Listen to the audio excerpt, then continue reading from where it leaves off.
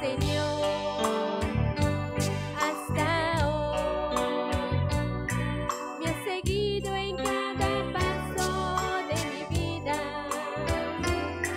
y me ha dado grandes cosas que no puedo olvidar.